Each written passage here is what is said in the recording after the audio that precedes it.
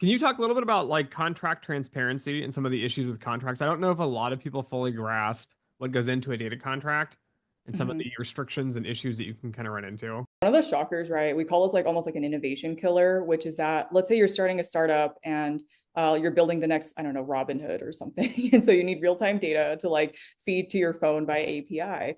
And uh, let's say you need like real-time NASDAQ data. So suddenly, um, you know, you'll co- go to like, I don't know, whether you go to us or any other data provider, right? They, we will all tell you, hey, you're going to need a license with NASDAQ to get that, regardless of which data provider you choose. And they're like, oh, it's $20,000 a month. You know, the whole mag- order of magnitude of the license is like way, you know, that makes us seem really cheap, uh, like peanuts in comparison, right? To like whatever, like the, the vendor, it's not that high, but like, um, you know, it, it's going to be like, it could be a couple thousand dollars a month, depending on what your use case is, um, and how you're using that data, whether it's for display, like on a phone, whether it's for non-display. And shockingly enough, everyone gets it wrong. Um, so that's what I mean by like transparency and, you know, licensing is first off, people don't even realize that there's a license required.